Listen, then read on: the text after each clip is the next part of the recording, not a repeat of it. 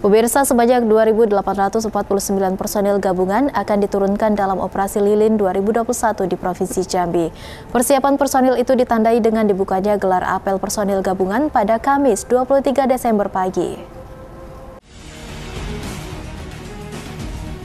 Sebanyak 2.849 personil gabungan TNI Polri, Damkar Basarnas, Satpol PP, PMI, Dishub, dan Dinkes diturunkan dalam melaksanakan operasi lilin 2021 yang dimulai pada tanggal 24 Desember 2021 hingga 2 Januari 2022 mendatang.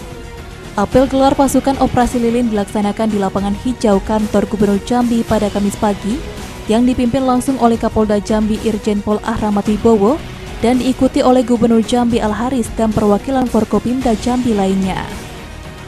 Operasi Lilin 2021 ini bagian dari pengamanan Natal dan Tahun Baru tahun ini akan dilaksanakan oleh Polda Jambi, Korem 042 Garuda Putih dan pemerintah Provinsi Jambi. Seluruh personel tersebut akan ditempatkan pada pos pengamanan dan pos pelayanan untuk melaksanakan pengamanan terkait gangguan Kamtipnas dan melakukan pengamanan di pusat keramaian seperti mal, terminal, bandara, pelabuhan, dan lainnya.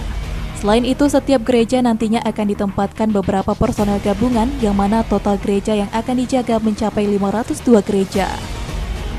Karo Ops Polda Jambi Kombes Pol Ferry Handoko mengatakan kegiatan ini akan dilaksanakan dengan prinsip preemptif dan preventif secara humanis serta penegakan hukum secara tegas dan profesional.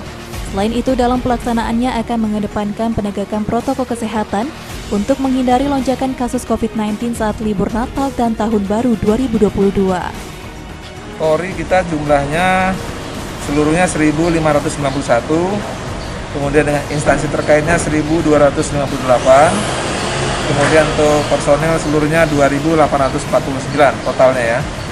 Kemudian untuk pos, untuk pos PAM, eh, jumlahnya sekitar ada 20 9 pos PAM dan 7 pos pelayanan. Dimas Sanjaya, Cek TV, melaporkan.